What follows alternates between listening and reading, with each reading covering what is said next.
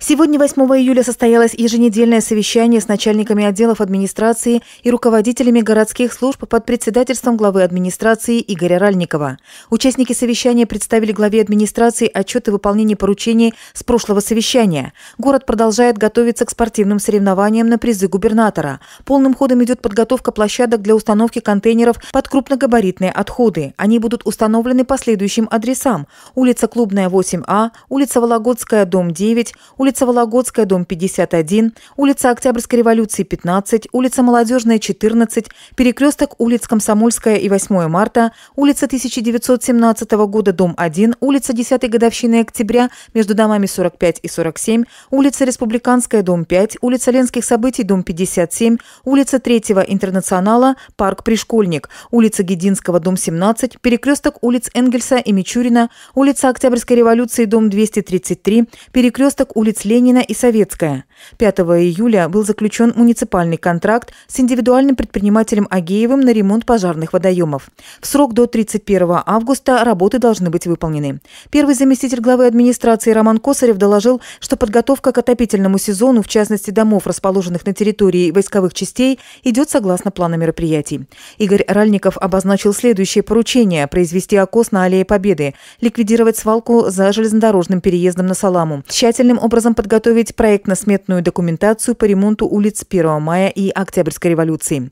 На совещании была представлена информация об оперативной обстановке на территории городского округа город Буй. По сообщению межмуниципального отдела МВД России Буйский всего зарегистрировано 129 обращений граждан, из них о происшествиях 19. Зарегистрировано 7 краж, 7 фактов причинения телесных повреждений, констатировано 4 некриминальные смерти. Один без вести пропавший, найден. Одно дорожно-транспортное происшествие. По административной административной практике составлено 182 протокола, в том числе 48 за распитие спиртных напитков и появление в нетрезвом виде в общественных местах. По линии ГИБДД 102. Задержано два пьяных водителя. По сообщению предприятия «Тепловодоканал» на подачу горячей воды в городе работают две котельные. Первая квартальная и химзаводская. Котельная ЦРБ закрыта на ремонт. Ведутся работы по замене труб. На минувшей неделе проводился окос травы от 37-й школы Дубуйского техникума железнодорожного транспорта. На этой неделе предстоит окосить территорию от второй квартальной котельной до флагмана. По водопроводно-канализационному хозяйству занимались прочисткой самотечной канализации по адресам Социализма 25, Островского 12, Карла Маркса 27. В районе Валика работы ведутся в настоящее время. До сих пор идут работы и по замене водопровода по улице Октябрьской революции и улице 1905 года. Цветность воды в реке на сегодняшний день составляет 73 градуса. В город подается вода 40 градусов цветности. Управляющая компания «Вира» сообщила о 60 заявках в аварийно-диспетчерскую службу. Все они выполнены. Промыты системы отопления в 46 многоквартирных домах. В отдел городского хозяйства передано 49 паспортов готовности. Выполнен текущий ремонт по следующим адресам.